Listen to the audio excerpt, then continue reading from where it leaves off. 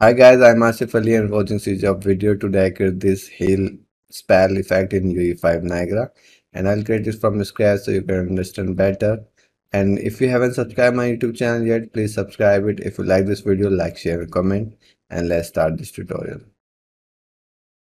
So I have this simple map and this animation that I downloaded from Mixamo.com and I placed it here and let's create a heal spell effect. For that I'll need a mesh. So I have Maya open so quickly I create a mesh.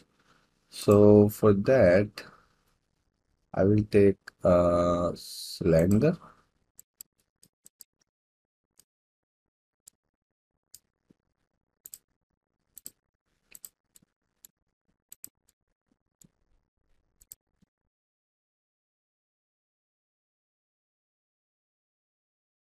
and in this lender I will